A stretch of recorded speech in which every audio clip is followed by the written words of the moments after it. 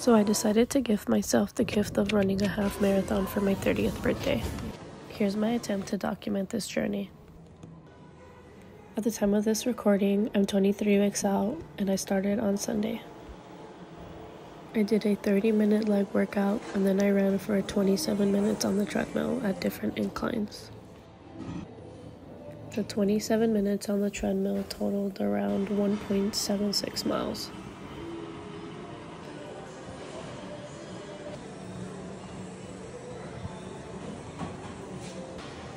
On Monday, I did arm day and I ran for 20 minutes. The total distance was about 1.56 miles.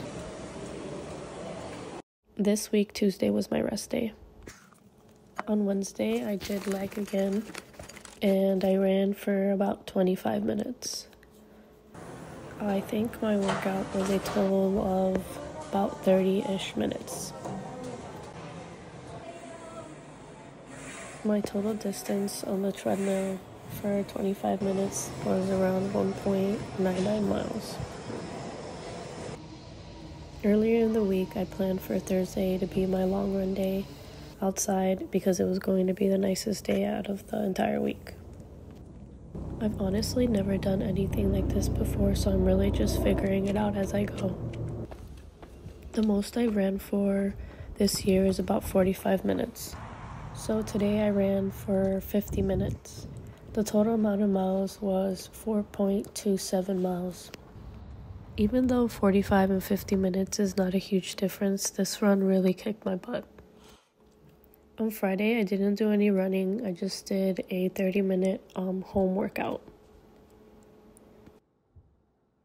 Oh man. On Saturday, I did a leg workout at the gym for about 30 minutes, and then I did a 15 minute core workout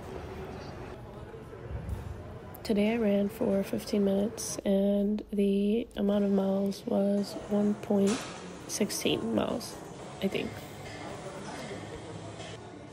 Overall, I don't feel too tired after the week. It was exciting seeing myself run 15 minutes um, when earlier this year I would never imagine to be running this much.